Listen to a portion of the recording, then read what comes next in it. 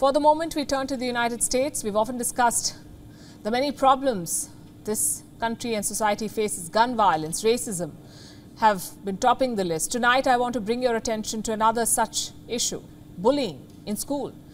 It seems to be rampant in American schools. A story from Texas has brought the issue back into focus. An Indian American boy was bullied in a school in Texas. The entire episode was caught on camera. And yet the victim was the one who was punished for what happened. This is the Coppell Middle School North, a state of the art institute in Coppell, Texas, one of the best rated according to Texas Education Agency. But it's making headlines for the wrong reasons. Look at this video. Get the out. No. Get the out. It's from the 11th of May. What you see is an Indian American boy being bullied by one of his American classmates. The bully is asking the boy to give up his seat. When the victim refuses, the bully gets angry, presses the boy's neck, chokes him with his elbow, drags him down from his seat as his fellow classmates egg him on and film the entire episode. Watch now.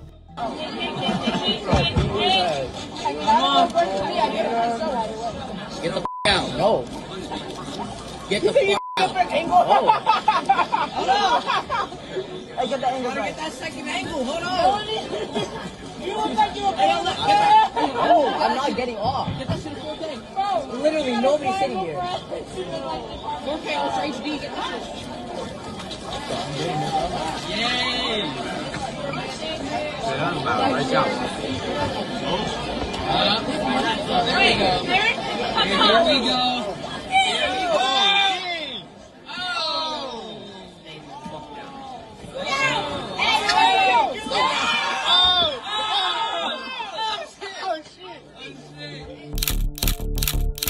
The video has since gone viral. The student has been identified as 14-year-old Shaan Pritmani.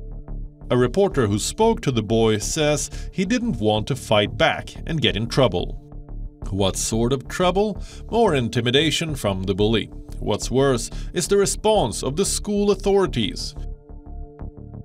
Reports say they've held the bullied student responsible and given him a three day suspension from school. The aggressor got suspended for just one day. The parents of the boy have now sought an investigation. An online petition has also been filed. Last we checked, it had received over 30,000 signatures. Now, here's the thing bullying in schools is a global phenomenon, but in America, the statistics are alarming. Reports have often called it an epidemic of sorts, a rampant, widespread, and pervasive problem.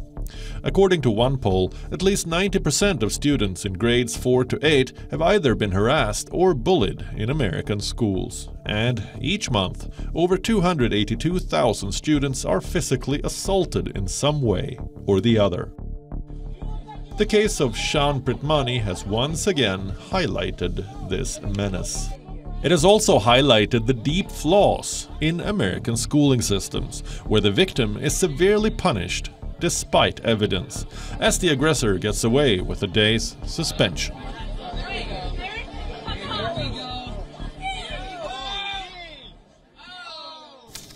WION is now available in your country. Download the app now and get all the news on the move.